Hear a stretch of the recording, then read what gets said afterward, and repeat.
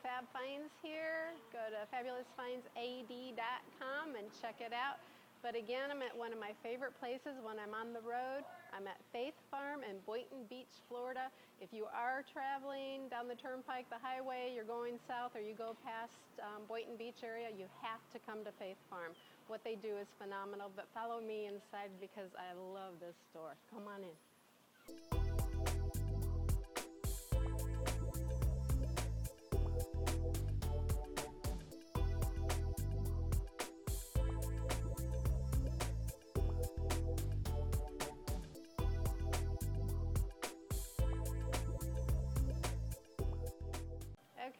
Found my ceramic mugs so I can have company. Now I have four of them.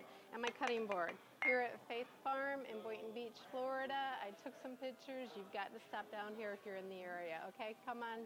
Fellow thrifters, keep thrifting. Follow me. Keep your comments coming. We're in their way.